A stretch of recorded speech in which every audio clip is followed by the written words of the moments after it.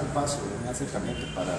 para que nosotros podamos acceder a ciertos datos que usualmente yo no sabía que se puede acceder sin ir solicitando en, en la institución, ya vi que se pueden acceder a bases de datos de, las universidades para sus gastos, de las, municipalidades, es decir, este,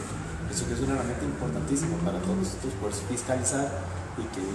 acercarnos cada vez más a la, democracia participativa, que es lo que, lo deberíamos aspirar.